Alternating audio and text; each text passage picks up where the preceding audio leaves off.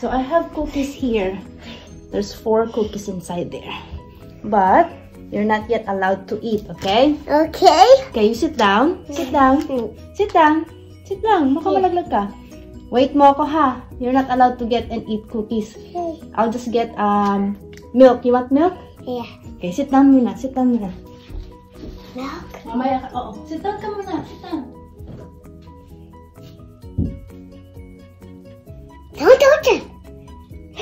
Mom's gonna see.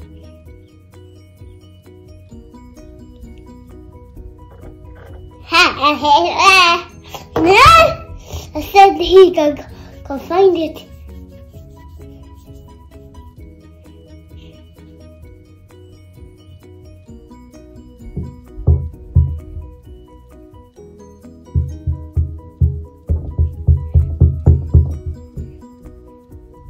Here you go. Did you eat? No. Did you wait for me? Yeah. Wow, good job. High five. You have milk? Where's my high five? Ah! That's not milk. I get water, not milk. But well done, Gyros. High five. Okay. Okay, good job. Now you can eat. Hang on, I'll just take out here. Here you go. Wait.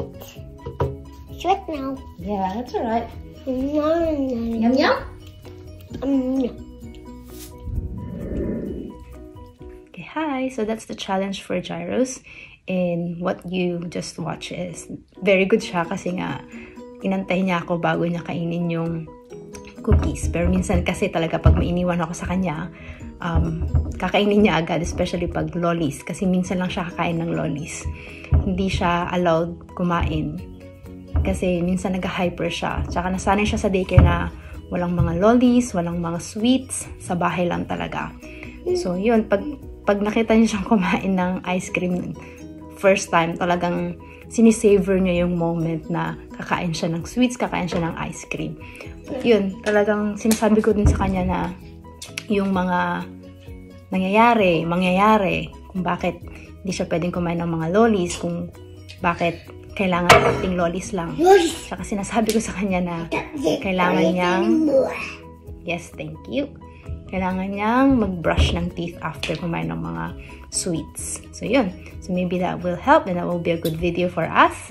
So, thank you for watching.